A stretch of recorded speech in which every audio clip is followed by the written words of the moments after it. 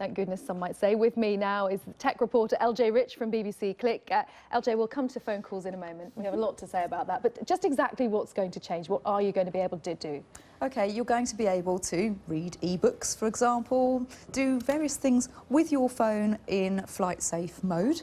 And uh, I think it's, yes, let me read this thing from the FAA. It says, use your phone in airplane mode from gate to gate. That means read ebooks, play games, watch videos on the devices during all phases of flight. However, this will only kind of come into effect once the airlines have gone through various things in order to be approved. So okay. this isn't like a blanket thing that everyone's going to be able to do this straight away. Uh, Airlines are still going to have to be able to prove that their aircraft is suitable to be um, allowing see. you to do so things on your phone. aircraft need to be tested, not the devices individually. Yes, that would of, be a nightmare. Yes, it's more like the airline's going to say, right, this particular aircraft is okay for passengers to continue to use sort of internet and, and what have you on their whilst right. they're on their journey. Because yes. at the moment, if you're checking your email, even offline, while you're sitting waiting to take off, they'll tell you to turn off your device once the plane started to taxi, won't they? Yeah, pretty much, yes. You need to turn everything off completely, whereas they're, they're kind of saying... It's, it's um, yeah, basically what's happening is the FAA are expecting a number of car uh, carriers in the US to implement this sort of slowly by the end of right. this year. Right, and this is just the US carriers domestically and flights from the US to, to other yes. destinations. Mm -hmm. um,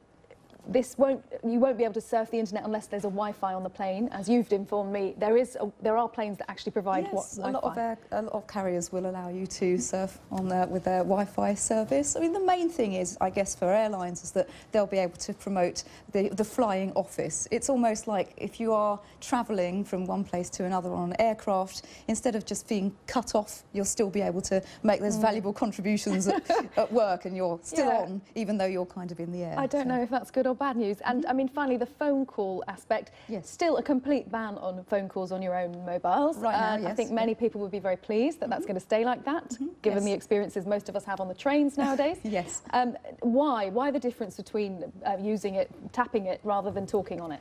I think there's something. I, I watched a video recently of a Boeing engineer talking about how different things that you're doing on your phone or your tablet can interfere with certain things on an aircraft. So making voice calls would possibly interfere with particular things. You're not going to bring a phone, a phone isn't going to bring an aircraft down from the sky. I mean, they're, they're basically saying that it might mean that pilots have to do a little bit more work in order to, to sort of keep looking at the systems Gosh. and not be distracted. So it's it, basically, you're not going to drop out the sky if your phone is on. But you're still not allowed to use it. OK, LJ, thank, thank you so much. LJ Rich from BBC Click.